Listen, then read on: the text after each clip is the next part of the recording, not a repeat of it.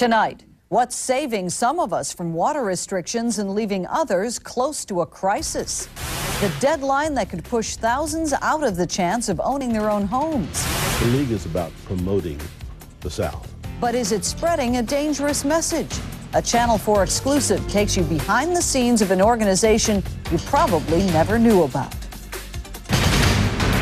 You're watching Channel 4 News, working for you. Good evening and welcome to Channel 4 News at 6.